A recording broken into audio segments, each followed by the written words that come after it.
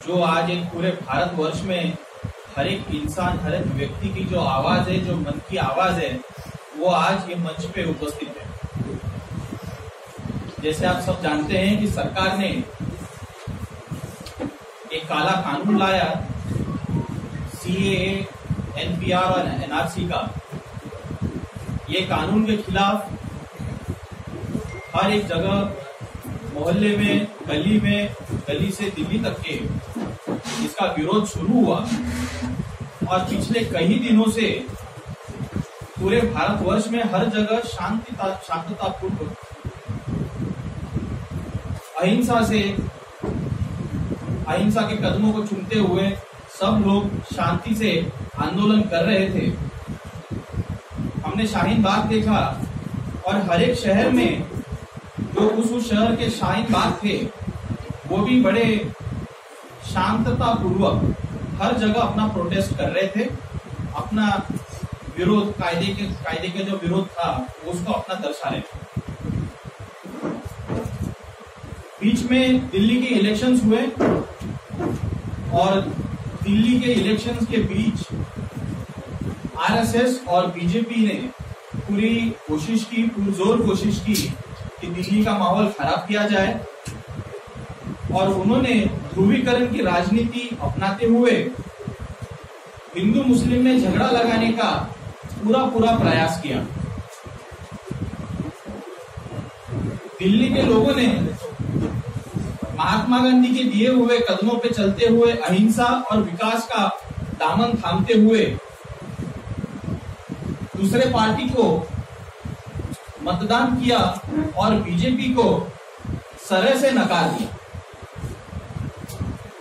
ये हार बीजेपी और आरएसएस वाले सह नहीं सके और इसलिए आज उन्होंने दिल्ली की जनता, जिन्होंने बीजेपी को वोट नहीं किया, उनको सबक सिखाने के लिए पूरे दिल्ली को आग में डाल दिया है, पूरे पूरे दिल्ली को आग में, आग लगा दिया जो प्रोटेस्ट इतने दिनों से शांतता पूर्व चल रहा था वो अचानक से बीजेपी के कुछ नेता कपिल मिश्रा अनुराग ठाकुर और उनके एक एमएलए हैं उनके भड़काऊ भाषण के बाद अचानक से दंगे I can speak only in English, so kindly bear with me. And good afternoon to everyone, and I really appreciate the time that you have taken to be here because this is a very, very important event or an occasion that you are covering. People were passively in a way of taking the way of non-violence for the past 72 days they have been protesting. They proved that this is the land where Gandhiji lived and got independence through non-violence. But when the pro CAA agitation took place, it became violent. So here we have to really understand that things are skewed up. It was, I can say, that the state is also involved in this. Because three days, when high security has to be present when a foreign dignitary like Donald Trump visits, things cannot happen like this. So, things have happened, when the High Court of New Delhi directs everyone, the police, to arrest certain people who have instigated the violence, overnight, the collegium recommends and the judge Muralidharan is transferred. So here the doubt arises. If they have remained silent, yes, it was a instinct way that the provocation has happened, that people agitated and the violence happened, we can accept. But when there was no action, when a judge directs the police and the government to act, there the official is transferred. See, in democracy, jurisprudence and the judges play a vital role. I represent the Christian community. Before the kings were formed, it were the judges who were leading the people. People like Daniel, Samuel, and all these people. Solomon is सर्वात प्रथम जे पत्रकार बांधव इथे आलेले आहेत पत्रकार बंधू यहाँ पे आए हैं उनका हम स्वागत छत्रपति संभाजी ब्रिगेड की तरफ से करते हैं जो दिल्ली में जो असंतोषी निर्माण हुई है, जो दंगाई निर्माण हुई है, उसका छत्रपति संभाजी ब्रिगेड की तरफ़ से हम निषेध व्यक्त करते हैं। जो दंगाई चल रही है, आज पूरे भारत में छत्रपति संभाजी ब्रिगेड मराठा सेवा संघ की तरफ़ से मराठा क्रांति मोर्चा, मराठा बांधव को जो आरक्षण देने का जो मामला था, उसमें 10 से 15 लाख लोग रस्ते पे उतरे थे। हर ज़िले में, हर तालुका में लोग उतरे थे। लेकिन कभी दंगा और असंतोषी निर्माण नहीं हुई थी। वैसे ही पूरे देश में एनआरसी के खिलाफ सीए के खिलाफ, मुस्लिम सिख ईसाई, बुद्धिस्ट, हमारे सभी भाई रास्ते पे उतरे हैं, लाखों के तादाद पर उतरे हैं। अब तक संविधान के दायरे में और कानून के दायरे में एनआरसी और सीए का प्रोटेक्ट हो रहा है। एक आदमी को भारत के एक आदमी को भी अब तक परेशानी नहीं हुई है। लेकिन कल परसों बीजेपी समर्थक और आरएसएस समर्थकों ने एनआरसी सीए के समर्थन में जो प्रोटेस्ट किया, जो रैली की, उसके बाद ये देश में दंगा चालू हो गया। और ये दंगा लगाने वाले, ये दंगा लगाने वाले आरएसएस, मोदी, अमित शाह, इसके प्रमुख मार्गदर्शन है। आज पूरे देश में मुस्लिम और हिंदू एकता निर्माण होने का कार्यक्रम पूरे देश में चल रहा है। और ये मोदी, अमित शाह, और आरएसएस हिंदू, मुस्लिमान, मुस्लिम दंगे कैसे होंगे। ये वो बड़े पैमाने पे भारत देश में षड्यंत्र कर रहे हैं। साथियों, ये देश में सामने आ गई। है दिल्ली में जो हुआ है, ये फसाद नहीं है यह आतंकवाद है। ये दंगा नहीं है, ये दहशत गर्दी है। और दहशत गर्दी को सपोर्ट कहीं ना कहीं डायरेक्ट या इनडायरेक्ट दिल्ली पुलिस कर रही है। अगर पुलिस चाहे जो सूबे की पुलिस चाहे हुकूमत चाहे तो वहाँ फसादी क्या? कोई पत्थर भी नहीं चला सकता, कोई मक्खी भी नहीं मार सकता।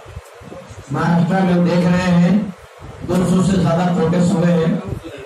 महाराष्ट्र हुकूमत ने यहाँ की पुलिस ने बहुत अच्छा बंदोबस्त देकर हर प्रोटेस्ट को कामयाब बनाया है। हमारी मांगे भी सुन रही है, बातें भी हो रही है, लेकिन दिल्ली में जो हुआ है, पुलिस की निगरानी में हुआ है होम मिनिस्टर जी, कहीं ना कहीं पूरी तरह से इसमें इन्वॉल्व है। क्योंकि ऐसा हो ही नहीं सकता कि आईबी के पास इनपुट ना हो रिपोर्ट ना हो ऐसा कुछ होने वाला है। और जो भी आदमी, चाहे वो किसी भी धर्म से Ambedkarite party of India Maharashtra समितीमधील joint secretary आणि राष्ट्रीय अध्यक्ष धीमान विजय मानकर यांच्या संघटनेद्वारे मी आज इथे पत्रकार परिषदेमध्ये उपस्थित आहे. मी सर्व पत्रकार बंधू आणि भगिनींचं अभिनंदन करतो. धन्यवाद देतो. की तुम्ही आमचं म्हणणं ऐकून घेण्यासाठी इथे उपस्थित राहिलात. बंधूंना गेल्या दोन तीन दिवसापासून दिल्लीतील नागरिकांमध्ये जी हिंसा फैलली केलेली गेलेली आहे या हिंसेचा मी पहिल्यांदा निंदा करतो. दिल्ली जळत असताना आमच्या देशाचे गृहमंत्री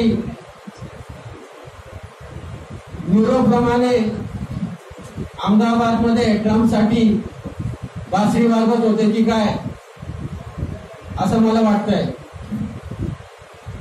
दिल्लीमध्ये असून पोलिसांची जबाबदारी असून इतकी हिंसा भडकते। नरसिंह तिवारी है। मैं सोनापुर भांडो आज़ाद नगर में एक मुस्लिम बस्ती में 40 वर्षों से रहता हूँ। मैं वहाँ पर आज़ाद नगर साधवी गणेशो मंडल का अध्यक्ष हूँ और मुस्लिम समाज के भी लोगों का काम करता हूँ। एक कहानी सुनी जाती थी कि जो रक्षा करता है। इसकी दिल्ली महाराष्ट्र में भी कोशिश की हुआ नहीं। Now we can say he has failed as the home minister also and he allowed Delhi to burn three days आज चौथा दिन है। लगातार जो है, कहीं ना कहीं हिंसा हो रही है। Okay up to the extend that yesterday we saw national security advisor coming doing the policing work in delhi. इसका मतलब ये है कि अमित शाह पूरी तरह से एज होम मिनिस्टर फेल हो गए people party of India we demand is immediate resignation Delhi में जो कुछ हो रहा है, उसको दंगा नहीं बोलना चाहिए। It all started after Kapil Kapil Mishra statement जो उन्होंने एक स्टेटमेंट दिया था कि ये, अगर ये यहाँ से धरना आंदोलन खत्म नहीं हुआ तो हम इनको उठा के ज़बरदस्ती हटाएँगे। ये शाहीन बाग और दूसरी दिल्ली में कई जगह पे जो शांतिपूर्वक धरने चल रहे हैं, उसको खत्म करने की एक साजिश है। ये हिंदू मुस्लिम धरने है ही नहीं। इसके अंदर अभी आप आम आदमी पार्टी का रोल देखेंगे तो आम आदमी पहले तो उन्होंने कोई साथ दिया नहीं आंदोलन करने वालों का सीए वालों का। I want to say Arvind Kejriwal see to be happy to remain helpless उन्होंने कुछ स्टेटमेंट नहीं दिया कुछ नहीं दिया। Yesterday he met two days back Amit Shah, but he did not ask for the army to intervene. पता नहीं उन्होंने क्या बात है उनके घर के बाहर जब प्रोटेस्ट हो रहा था स्टूडेंट्स का तो वहाँ पे वाटर कैनन यूज़ किए गए, फिर उसके बाद वहाँ पे स्टूडेंट्स पे लाठीचार्ज हुआ। और उन्होंने स्टूडेंट से बात करने से इनकार कर दिया। इसके अलावा जामिया मिलिया इस्लामी में जो वायलेंस हुआ था, उसके ऊपर उन्होंने कोई प्रतिक्रिया व्यक्त नहीं की। उसके बाद जेएनयू का वायलेंस हुआ। ये तय थे इसी तरह दिल्ली पुलिस ने भी जो है, ये सिलसिला डेढ़ दो महीने से चल रहा है। जामिया मिलिया इस्लामी में वायलेंस हुआ। उसके बाद जेएनयू में वायलेंस हुआ। कोई एक्शन नहीं लिया गया। वीडियो अवेलेबल है, सब अवेलेबल है।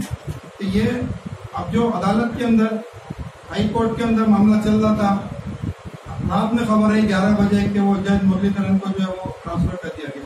रात ग्यारह बजे की न्यूज़ थी। और जज ईमानदारी से काम कर रहे थे।